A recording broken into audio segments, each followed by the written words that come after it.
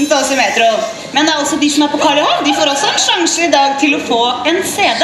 Ja. Og hva må de gjøre? Nei, De må liksom være utrolig fan av eh, tror jeg, og skrike og De lage bare generelt fan. Ja, Så er det Limal her som eh, kan få lov å dele ut premier til eh, de som er mest fan. Limal er dagens nisse. Har dere skjønt reglene? Hva dere må gjøre? Okay, so Det gjelder å lage oppstyr.